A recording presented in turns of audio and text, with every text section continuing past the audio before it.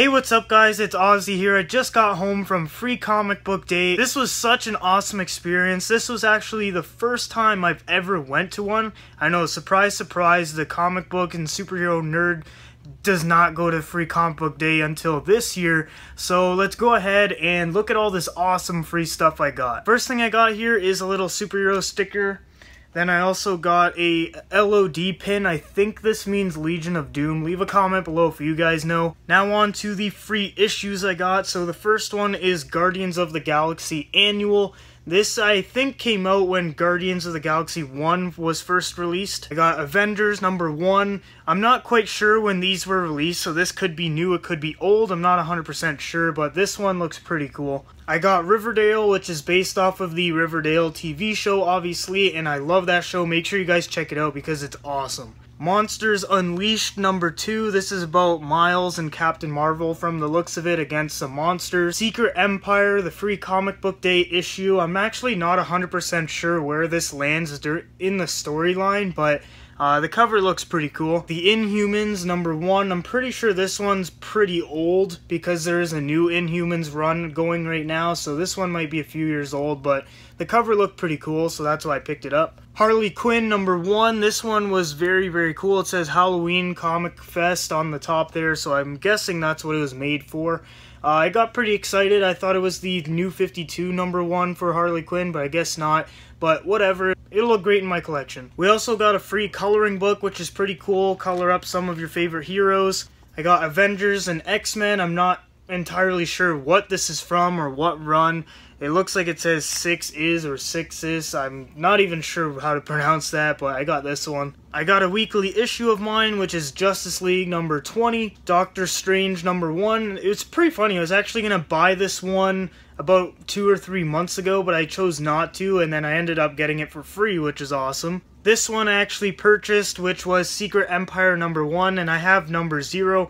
And uh, this is going, this looks like it's going to be a really awesome Marvel event, so uh, make sure you guys pick this up whenever you go. I got Wonder Woman number one.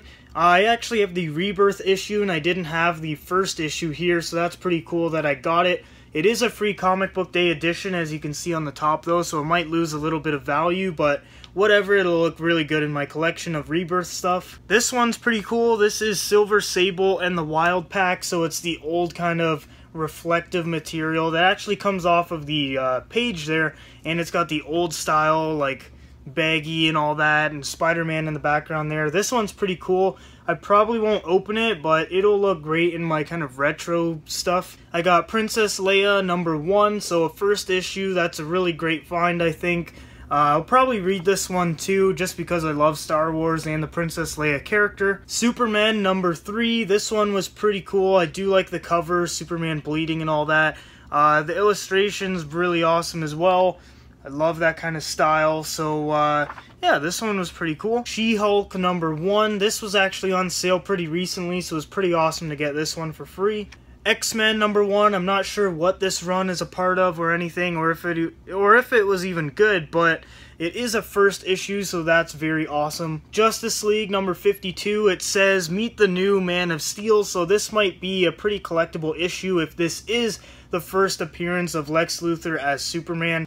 I got this. Leave a comment below if you guys know what this is because I literally have no idea, but it says the story so far. It's got some random characters on there. I don't even know what company published this or anything, but uh, yeah, pretty pretty decent free stuff, I guess, and something to read on the toilet. The second last thing I got was another Archie related thing. So this is Afterlife with Archie. So I'm guessing this is going to be about monsters and how the Archie characters kind of deal with it. So on the back, I think that's Betty and some zombies. And the final issue I got was Original Sin issue number 5. I don't really know anything about this story or anything, but uh, the cover does look pretty cool with Cap and the Winter Soldier and Black Panther on there. So yeah, guys, that was my first ever free comic book day. I only went to one location, and the line actually took me about an hour and a half just to get in the store, which is pretty freaking ridiculous.